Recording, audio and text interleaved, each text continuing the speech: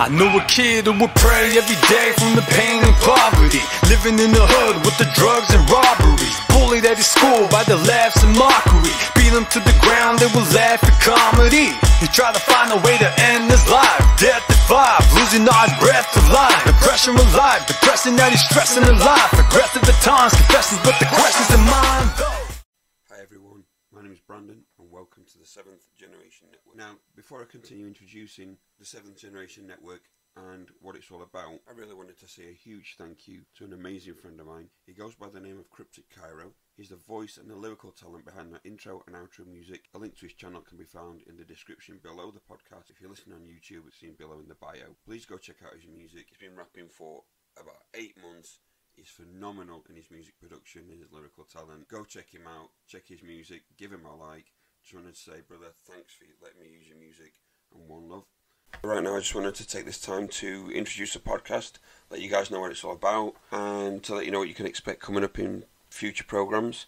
Really, Seventh Generation Network is all about creating equality, speaking about subjects and topics that, that are current, necessary, and important to everybody, globally, locally, nationally. Things that impact us all, and things that we need to unite on. And this channel will let us discuss these topics, speak frankly, speak respectfully, and approach things like First Nations do, like we should be doing. And part of the Seventh Generation Network is based around First Nations and the way they conduct themselves respectfully, with integrity, with kindness and dignity and courage. And these are all things that we need to get back, and they need they're things that we need to address and to remind each other that these things count. And also, in fact, that we count. We count as people, as individuals, as souls, and as beings with feelings. Some of the subjects that we're going to be covering in a podcast is respect, morals, division in society, community, Black Lives Matter versus All Lives Matter, homelessness, learning to live with yourself, and positive mindsets, and living a simple life for you and for the earth. And I think they're all things that we need to discuss equally and we need to address with equal importance. And we need to really put these things forward, discuss them, and look at how we can be better people and how we can be better to each other as well as to ourselves and learn to live with less judgment. Now, we'll also move on later on to topics like learning to live greener, eating better, eating simpler, and seeing how we can just improve our mindsets and the way we think about ourselves and other people. Hopefully, you'll join me on this journey. We can improve ourselves and help to improve the impact we have on other people, and hopefully, those people with a slightly negative outlook can learn to be a little less judgmental, a little more understanding, and care a little bit more for people that we have around us, whether it's a stranger or whether it's family.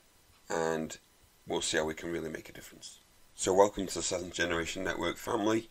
Let's speak, let's learn together, let's become united, let's make it a better place, and let's make a difference. Let's really leave a legacy and let people talk about us how they should talk about us, and let's leave a positive, lasting impression, and let's be the example. Let's show people change is possible. I welcome you to join me on that journey.